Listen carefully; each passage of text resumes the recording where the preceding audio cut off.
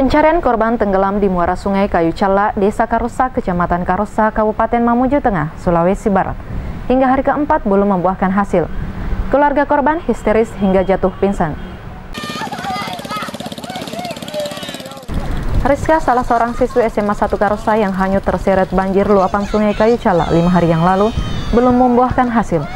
Tim SAR gabungan telah mengintensifkan pencarian dengan melakukan pencarian sejauh 4 mil dari bibir pantai namun hasilnya nihil. Selain tim gabungan, keluarga korban juga ikut melakukan pencarian ke lokasi kejadian. Saat melakukan pencarian, tiba-tiba ibu korban histeris di atas perahu yang saat itu menyusuri pantai dan sungai Kaicala. Tidak kuasa menahan kesedihan, ibu serta nenek korban jatuh pingsan di atas perahu sesaat sebelum tiba di bibir pantai. Melihat keadaan nenek dan orang tua korban jatuh pingsan, warga dan tim SAR gabungan kemudian mengevakuasi keduanya ke salah satu tenda yang berada tidak jauh dari bibir pantai.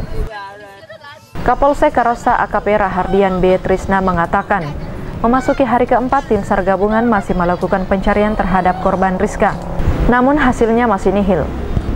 Selain itu, Kapolsek Karosa berharap warga dan pihak keluarga bersabar dan berdoa agar tim SAR gabungan bisa segera menemukan korban. Sudah melakukan pencarian selama empat hari.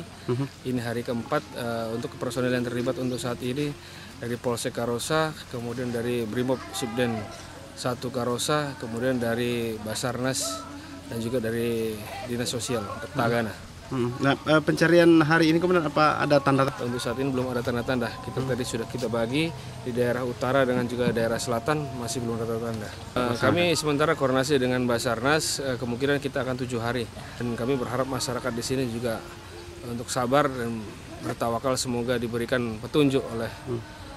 Allah Subhanahu Wa Taala untuk bersabar saja kita tim kita berupaya semaksimal mungkin untuk bisa didapat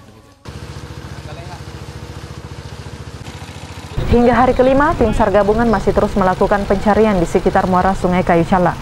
Dari Kabupaten Mamuju Tengah, Erdin Jurnal TV mewartakan.